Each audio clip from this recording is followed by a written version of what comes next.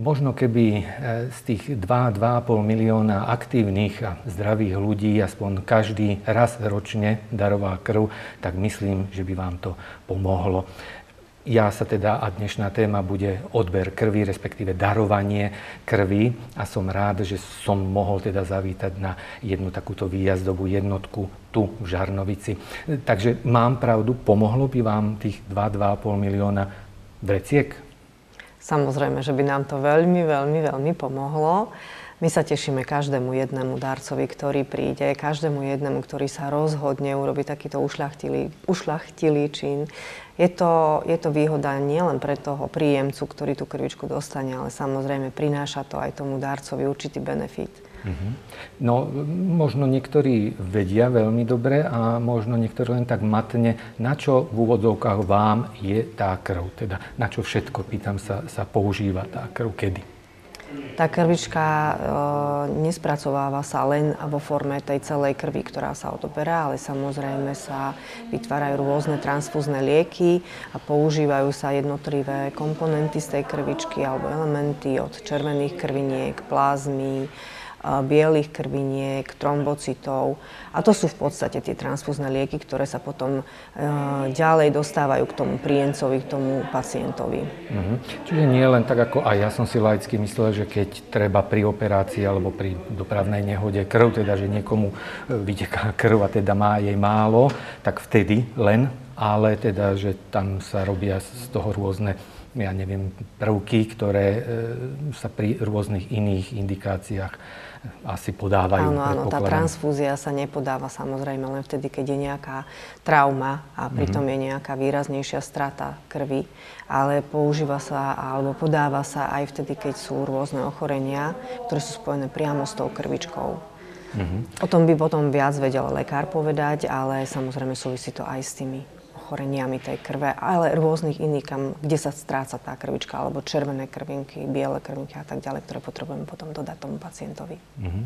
No vieme teda aspoň minimálne zo školy, zo 7. triedy, že tých krvných skupín je, je viac, teda je a sú tam nejaké vzácnejšie. Ja teda si pamätám tie nulky. Je to v podstate pravda? Dobre hovorím? Alebo sa to niekam spred 30 mojich školských rokov posunulo, že to už až tak nie je pravda? Každá krvná skupina je vzácna, mm. lebo keď e, budete v tom okamihu potrebovať tú krvičku, tak tá najvzácnejšia je tá vaša. Hej? Či to bude Ačka, Bčka alebo ABčka. Čo sa týka takého podielu tých krvných skupín naš, u nás v našom obyvateľstve, tak tej Ačky je určite najviac. Mm.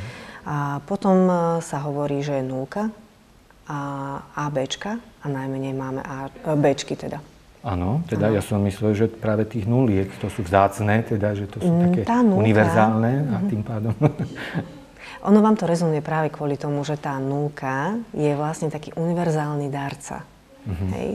Že on môže vlastne tú krvičku darovať, pokiaľ má ešte aj ten faktor negatívny, teda má 0 mínus, mm-hmm. to tým lajkom hovorí asi viac, tak je to proste darca, ktorý môže darovať tú krvičku.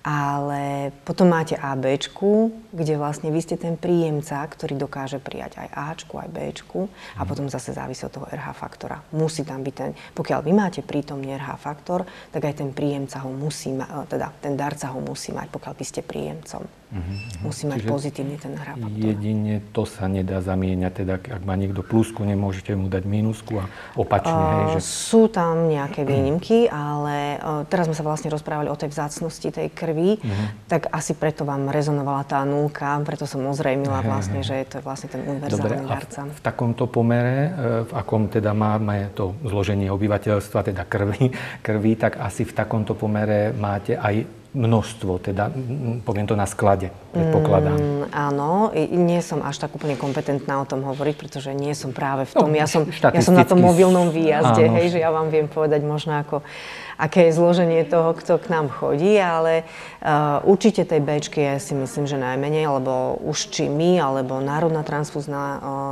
spoločnosť tiež hovoria o tom, že tá Bčka im chýba zvyčajne najviac. Mm-hmm. Čiže To je, to je. Sú obdobia, teda predpokladám, že áno, lebo sú rôzne výzvy behom roka, že tam a tam, alebo možno globálne chýba tá krv. Čím je to spôsobené, že možno dovolenkovými sezónami, alebo... Samozrejme, určite dovolenky majú svoje. ono to nie je len tým, že je možno menej ľudí akože na tom Slovensku alebo že migrujú, ale aj tým, že je to jedno z kritérií, ktoré obmedzujú vlastne toho darcu v darovaní krvi. Musí prejsť určitá doba, určitý limit po návrate vlastne z tej dovolenky, aby mohol ten darca darovať krvičku.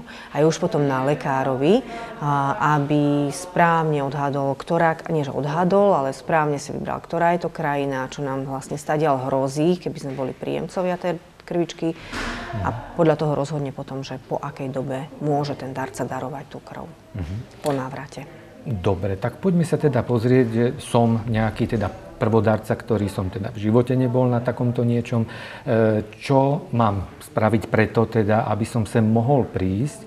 Začneme od napríklad zamestnávateľa, či ma je povinný e, uvoľniť, až po teda možno nejakú diagnostiku, čo ma tu čaká, až po teda to pichnutie. Hej, že... Ja si myslím, že tomu zamestnávateľovi, pokiaľ mu to nerobí nejaký mimoriadný problém, že mu ten zamestnanec na ten jeden deň e, vypadne z práce, tak ho určite uvoľní. Nemáme, aspoň nemáme informácie o tom, že by tí zamestnávateľia boli proti takejto nejakej činnosti tých našich darcov. Je dôležité, aby ten darca mal 18 rokov. Mm hej, musí mať e, menej ako 60, môžu aj nad 60 rokov darcovia darovať, ale to musia byť pravidelní darci, ktorých máme odsledovaných, mm. opakovane darujú krvičku, je ten organizmus na to zvyknutý. A príde vlastne ten darca ku nám, a vyplní si dotazník, kde musí ale veľmi pravdivo odpovedať na všetky tie otázky. Následne ide k pánu doktorovi, ktorý um, rozhodne o tom, či je vhodný darca alebo nie je a potom už ide k nám, k babám, ktoré odoberáme tú krvičku a myslím si, že v takej dobrej nálade, aby sme ho trošku zbavili toho stresu, mu odobereme tú krv. Následne ešte sedí chvíľočku v kresle, aby sa nejak mhm. ten organizmus trošku prispôsobil tomu stavu, ktorý vznikol tým, že nemá tú krvičku, alebo majú menej. A potom následne ešte doplní tekutiny, hlavne sladké, je veľmi dobré, aby si dal potom odbere a môže ísť domov.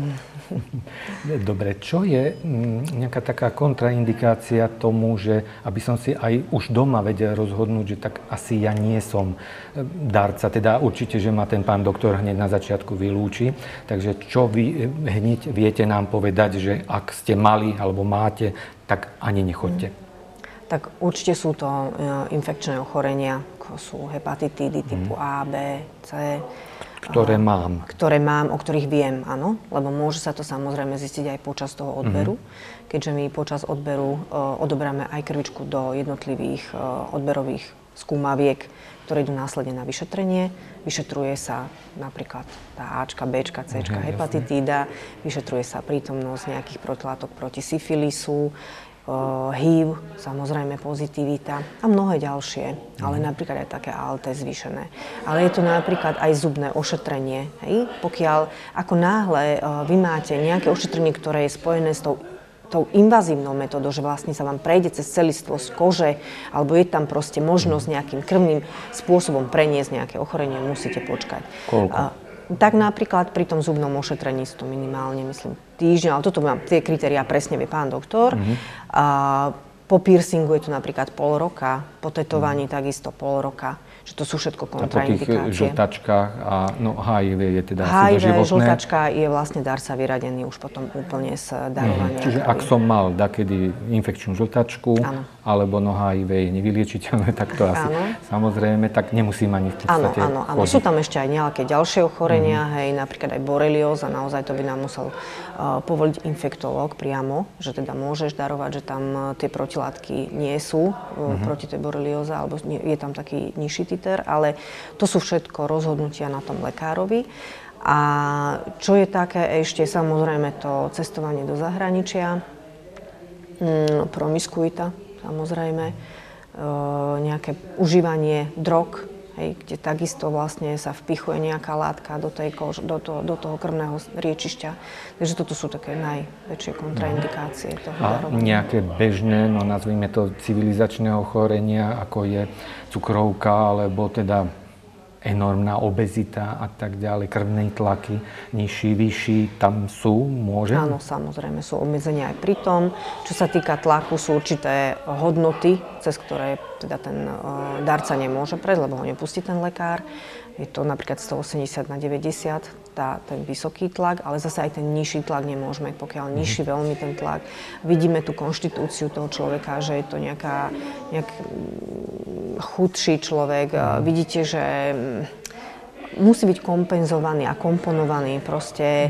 Mm. Už na prvý pohľad. Už na prvý že... pohľad na ňom môže byť vidieť, že proste a radšej nie, lebo mm. jednoducho by sme ublížili tomu samotnému darcovi.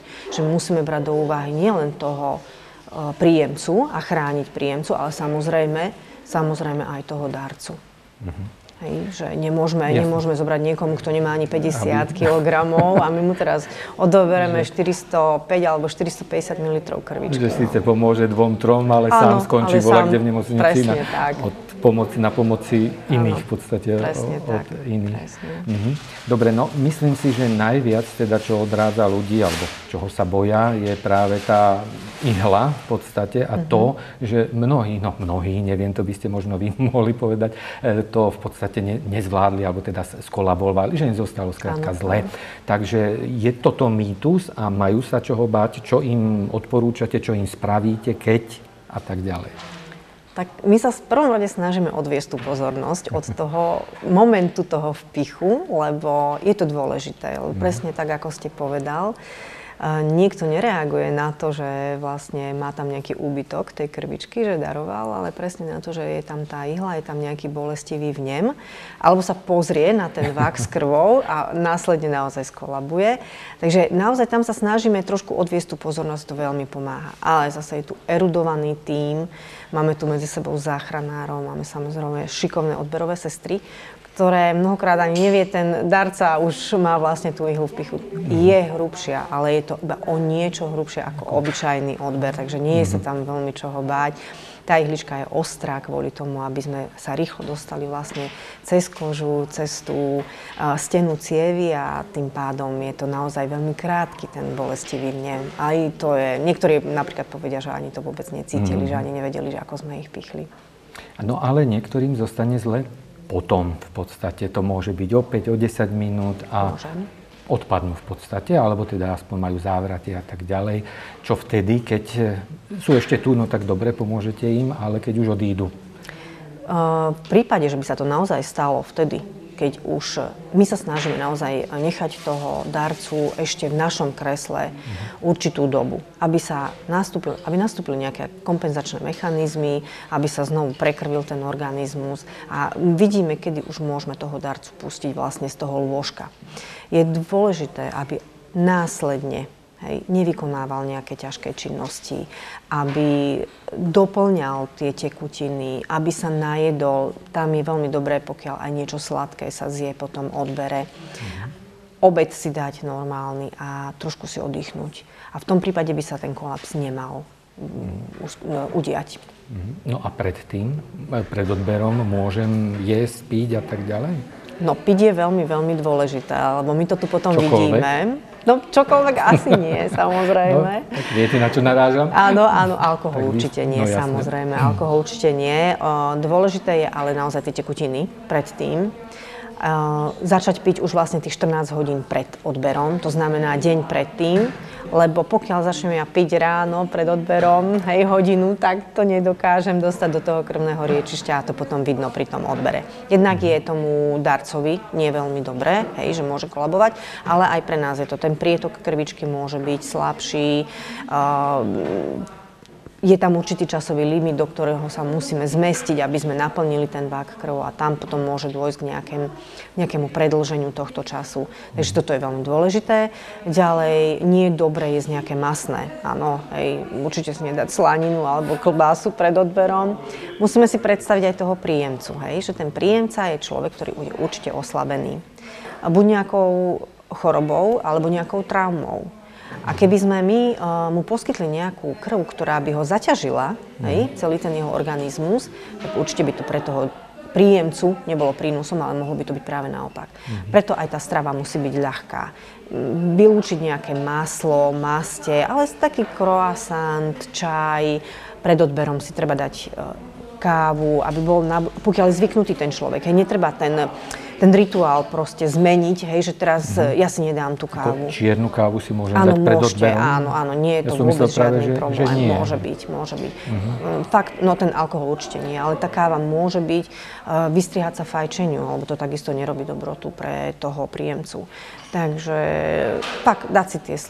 A u, čo prosím, raňajkovať. Hej. Mm, že nie nálačno. Nie nálačno, áno, lebo je taký mýtus nejaký, ktorý, že pred odberom treba byť nálačno. No. Áno, pred odberom, ale odberom krvi, ktorý potrebu, ktorú potrebujem vyšetriť, ale nie pred odberom keď potrebujeme no, darovať. Čiže krvičku. u lekára, keď idem na vyšetrenia tak, rôzne, tak, tak, tak, áno, tak tam. nalačno, ale nie pri ale darovaní nie, nie krvi. pri darovaní, hej, áno. tiež je Lebo je to potom tiež jedna možnosť toho kolapsu, hej, že prečo skolabuje ten Jasné, dobre. Darca. Na záver teda ešte povedzme, kto a m, koľkokrát môže e, darovať mm-hmm. behom roka krv. Samozrejme, naražam potom aj na napríklad tehotné ženy a podobne. Tak e, tehotné ženy nie, je, nedarovávajú krvičku, ale tá žena môže každé 4 mesiace mm. a e, muži každé 3 mesiace. A po pôrode? Tam je po pôrode tam musí byť, zase je tam podmienka, že už nedojčí tá maminka, musí sa cítiť aj ona kompenzovaná, dostatočne silná. Je dôležité, keď vyšetríme hemoglobín, akú má hladinu toho hemoglobínu až následne. Ale určite by som skôr ako nejak po pol roku po pôrode nešla darovať krvičku. Mm-hmm. Uh, možno ešte aj viacej. No. no ale veľmi to závisí od toho, ako sa tá matka cíti a či nedojčí. No, pri tom dojčení takisto. Tiež by sa ne, neodporúčalo? Nie, nie, že... určite by sme neodporúčali kvôli tomu, že tu by už bolo veľa na ten organizmus. Mm-hmm. Je záťaž už len tá tvorba mlieka pre to dieťatko a ešte toto by bola ďalšia záťaž, pokiaľ by sme nejak odobrali od nej mm-hmm. 400 ml krvi. Jasne. Dobre, tak už vám len teda poprajem, nech máte čo najviac takýchto darcov všade teda a behom roku. A ja ďakujem za tieto informácie. Ďakujem veľmi pekne aj ja.